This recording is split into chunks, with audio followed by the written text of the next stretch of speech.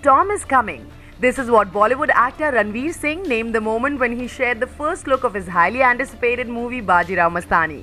In the poster, a knight is on a horse overlooking a fort and around him are orange flags. The film's story revolves around Maratha Peshwa Bajirao and his second wife Mastani. The Ramleela actor plays Bajirao, Priyanka Chopra plays the role of Kashibai, his first wife, and Deepika Padukone plays Mastani, his second wife. Bajirao Mastani is set to hit theatres on 18 December 2015, will reportedly give competition to Shah Rukh Khan and Kajol starrer Dilwale. Which film will do better, we really can't guess, but seeing the poster of Bajirao Mastani, we can safely agree with Mr. Singh on the fact that a storm is coming.